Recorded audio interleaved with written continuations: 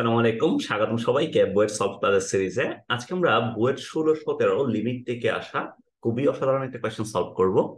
So এই question বলতেছি, দেখো, তোমাকে একটা ফাংশন দেওয়া আছে F of X equals to sine three X এটা দেওয়া আছে। দেখাইতে বলছে লিমিট এইচ টেন্স টু যদি জিরো হয় F of X plus three H minus F of X divided by three H এটা সমান কত হবে? ঠিক আছে? সো আমরা, প্রথম আমরা দেখি কীভাবে আমরা প্রবলেমটা সলভ করব। আমি যদি ভাইয়া আমাদের যে লিমিটটা দেওয়া আছে, এখানে ফাংশনটাকে বসাই, তাহলে limit H tends to zero আমরা এখান থেকে পাবো কত? এফ অফ এক্স সমান যেহেতু সাইন থ্রি এক্স আমরা এক্স এ কি বসাইতেছি এখন? এক্স প্লাস থ্রি এইচ বসাইতেছি না? তাহলে আমরা এখান থেকে পাবো সাইন থ্রি ইন্টু এক্সের জায়গায় বসবে X plus three H minus F of X মানে হচ্ছে sine three X divided by আমাকে দেওয়া আছে থ্রি এইচ তাই না? ডিভাইডেড বাই থ্রি এইচ এটা আমরা পাইতেছি। এখন এই জায়গায় তুমি খেয়াল করো, এরপর আমরা কি করতে পারি? তাহলে ভাইয়া limit H tends to zero আমরা যদি গুণ করি তাহলে sine three X plus nine H minus sine three X divided by three H এটা আমরা লিখতে পারি। সো আমরা অলরেডি ত্রিকোণমিতিতে অলরেডি আমরা কিছু ফর্মুলা জানি। ফর্মুলাগুলো হইতেছে, যদি আমাদের কাছে কখনো sine C minus sine D sine C minus sine D যদি থাকে, তাহলে sine C minus sine D মানে কি লেখা যায় ভাইয়া? এটা সমান লিখতে পারি আমরা two cos C plus D by two sine C minus D by two তাই না? এই জিনিসটা লেখা যায় না? আমরা এই এক্স্যাক্টলি সেম ফর্মুলাটা যদি এখানে অ্যাপ্লাই করি সি এর জায়গায় যদি আমরা এটাকে চিন্তা করি three X plus nine X কে যদি আমি সি এর জায়গায় চিন্তা করি, আর থ্রি এক্স কে যদি ডি এর জায়গায় চিন্তা করি, তাহলে sine C minus sine D আমরা এই জায়গায় অ্যাপ্লাই করতে পারব। তাই না? তো তুমি জাস্ট এখানে ফর্মুলাটা অ্যাপ্লাই করো। তাহলে এখান থেকে আমরা পাবো ভাইয়া, এখন এই জায়গায় আমরা পাবো limit H tends to zero two cos three X plus nine H plus three X divided by plus three X divided by two divide by two এটা একটা পাইতেছি। এরপরে এরপরে পাবো কত? সাইন সাইন এখান থেকে পাবো কত দেখো তো?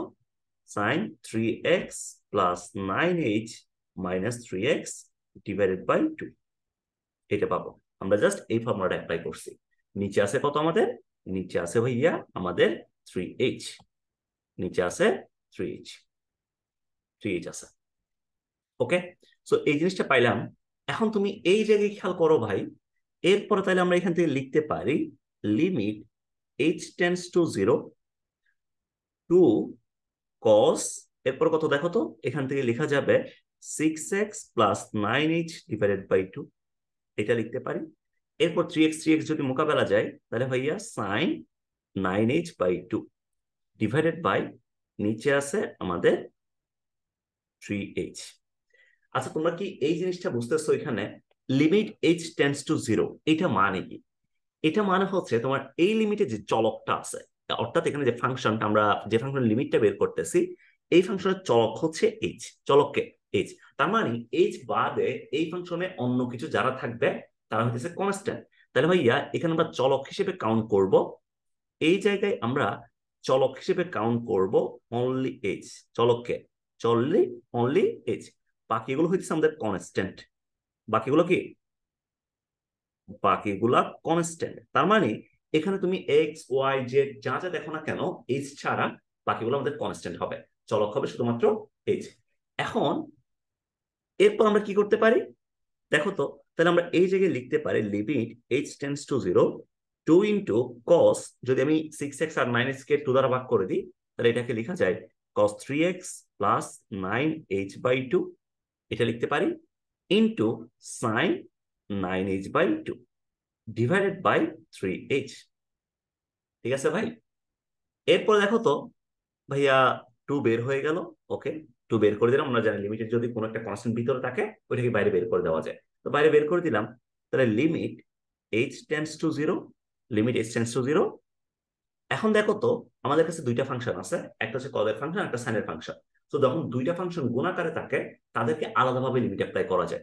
তাহলে ভাইয়া, আমরা এই লিমিটটা কসকে দিয়ে দিলাম, ধরো cos 3x plus nine H by two nine H by two এটাকে দিয়ে দিলাম। আবার হচ্ছে nine H by two divide by three H যেটা আছে, এটাকে আলাদা করে এই লিমিটটাকে দিয়ে দিলাম। তাহলে nine H by two divided by three H তার মানে আমাদের কাছে এই যে ফাংশনটা আছে, এটাকে চাইলে আমরা এভাবে দুইটা আলাদা আলাদা লিমিটের গুণফল আকারে প্রকাশ করতে পারি, তাই না? সো এখন খেয়াল করো, তাহলে টু ইন্টু এখন তুমি যদি প্রথম ফাংশনের লিমিটটা বসাই দাও এইচ এইচ এর জায়গায় যদি জিরো বসাও, তাহলে এখান থেকে কি পাবা? Cos three X plus zero পাবা, তাই না? এরপর into limit S tends to zero sine nine H divide by two divide by three H তোমরা অলরেডি জানো ত্রিকোণমিতির জন্য, আমাদের একটা ফর্মুলা অলরেডি জানা আছে। ত্রিকোণমিতির জন্য সাইনের সাইনের একটা ফর্মুলা জানা আছে লিমিটে ফর্মুলাটা কি বলে?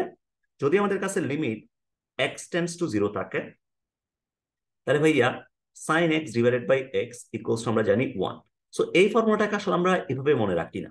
এক্স দিয়ে আমরা মনে রাখি না। এই ফর্মুলাটাকে আমরা মনে রাখি কীভাবে? এটাকে আমরা মনে রাখি যদি আমাদের কাছে এই টাইপের কোনো কিছু থাকে limit limit box tends to zero sine box divided by box বক্সে যে কোনো কিছু থাকতে পারে এক্স ওয়াই জেড যে কোনো কিছু থাকতে পারে। তো limit box tends to zero sine box divided box যদি থাকে এটা সমান আমরা লিখতে পারি ওয়ান এটা সমান ওয়ান লিখা যায়, তাই তো? এই জিনিসটা যদি ভাই আমরা এই জায়গায় অ্যাপ্লাই করি, তাহলে খেয়াল করো তো কি লেখা যায়? Limit H tends to zero sine nine H divided by two এখন সাইনের পাশে যেহেতু nine H divide by two আছে, তাহলে নিচেও আমার কি নিয়ে আসতে হবে? নাইন এইচ বাই টু নিয়ে আসতে হবে। সো আমরা নিচেও কি নিয়ে আসলাম? নিচেও নাইন এইচ বাই টু কে নিয়ে আসলাম। বাট ভাইয়া, নিচে কি নাইন এইচ বাই টু ছিল? ছিল না। কত ছিল? থ্রি এইচ ছিল। তাহলে কে কে এক্সট্রা আসছে? এক্সট্রা আসছে কে কে? তাহলে তুমি যদি এই জিনিসটাকে টু বাই থ্রি দ্বারা গুণ করো টু বাই থ্রি দ্বারা যদি গুণ করো, তাহলে ভাইয়া তোমার ব্যালেন্স হয়ে যায়, আগেরটাই ফিরে আসে, তাই না? আগেরটাই ফিরে আসে। তাহলে এখন তুমি এই জায়গায় খেয়াল করো ভাই, এই জায়গায় খেয়াল করো, তাহলে এখন আমাদের কাছে পড়ে আছে two cos three X into two cos three X into তাহলে এখানে আমরা এই জিনিসটা সমান কত অ্যাপ্লাই করতে পারি দেখো তো? এই জিনিসটা সমান আমরা ওয়ান অ্যাপ্লাই করতে পারি, তাই না? তোমরা অনেকেই বলতে পারো, ভাই, এখানে তো এইচ টেন্স টু জিরো আছে। Nine H by two tends to zero নাই। তোমরা অবশ্যই মাথায় রাখবা, যদি তোমার কাছে এইচ টেন্স টু জিরো হয়, তুমি যখন এটার সাথে কোনো একটা কনস্ট্যান্ট গুণ করবা, এটাও টেন্স টু জিরো হবে। তাহলে ভাইয়া, যখন আমি নাইন এইচ বাই টু নিছি, এটাও টেন্স টু কত হবে? এটাও টেন্স টু জিরো হবে। এটা বলা যায়। তো এইচ টেন্স টু জিরো হওয়া মানে কি? Nine H by two tends to zero হওয়া। এটা বলা যায়। তাহলে আমরা এখন এইখান থেকে লিখতে পারি, তাহলে এখানে ভাইয়া কনস্ট্যান্ট কত আছে দেখো তো? টু বাই থ্রি এটা কনস্ট্যান্ট না, তো এটা যখন বের হয়ে যাবে টু বাই থ্রি যখন বের হয়ে যাচ্ছে, তাহলে one by two by three বের হইতেছে না, তার মানে আলটিমেটলি এটা থ্রি বাই টু বের হইতেছে, তাহলে থ্রি বাই টু ইন্টু এখন পরে আছে কত? Limit H tends to zero sine nine H by two divided by nine H by two তাহলে ভাইয়া, এখন আমরা বলতে পারি এই রেজাল্টটা কত?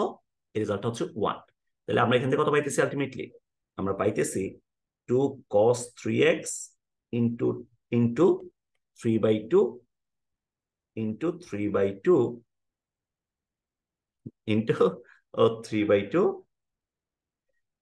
three by two into one তাহলে আলটিমেটলি ভাই আমাদের কাছে পড়া আছে কত ফাইনালি এখন যদি আমাদের সবকিছু মোকাবেলা যায়, আমাদের যদি সবকিছু মোকাবেলা দিই, তাহলে এখন পড়া আছে টু টু মোকাবেলা গেলে থ্রি কস থ্রি এক্স এটা পড়া আছে। তাহলে আমাদের ফাইনাল অ্যান্সার হচ্ছে final answer three cos three X এই ম্যাথটা খুবই সুন্দর। এটা ছিল বুয়েট, ষোলো এবং সতেরোতে একটু ভালো মতো দেখিও। তো সবাই একটু মনোযোগ দিলে আসলে এই প্রবলেমগুলো খুব একটা কঠিন না, আমরা মনে করি কি বইয়ের প্রবলেম মানে অনেক কঠিন। আমি এখানে আসলে তোমাদের এই সিরিজে আমি মোটামুটি ট্রাই করব অন্তত ম্যাথে বুয়েটের যে প্রবলেমগুলো আছে ইম্পর্টেন্ট ইম্পর্টেন্ট প্রবলেম ওইগুলো হচ্ছে পুরো চ্যাপ্টার বেস করে আমি করে দেওয়া। আমি আপাতত ক্যালকুলাস নিয়ে কাজ করতেছি। তোমাদের ডিফারেন্সিয়েশন এবং লিমিট নিয়ে এখনও ভিডিও দিতেই আছে, দিতেই আছি। এটা ইনশাল্লাহ কয়েকদিনের মধ্যেই শেষ হয়ে যাবে। এরপর আমরা ইন্টিগ্রেশন দেখব। ইন্টিগ্রেশন কর আমি মোটামুটি তোমাকে এই এই প্রত্যেকটা চ্যাপ্টারের বোর্ডে যে কোয়েশ্চেনগুলো আছে, ওগুলো আমি তোমাকে অ্যানালাইসিস করে দিব। যাতে তোমার কাছে জিনিসটা ইজি মনে হয়। সো হ্যাপি লার্নিং তোমরা এই ক্লাসগুলো বন্ধুদের সাথে শেয়ার করবা। সবাই মিলে একসাথে করবা। সবাই ভালো থাকো। আল্লাহ হাফেজ। টাটা।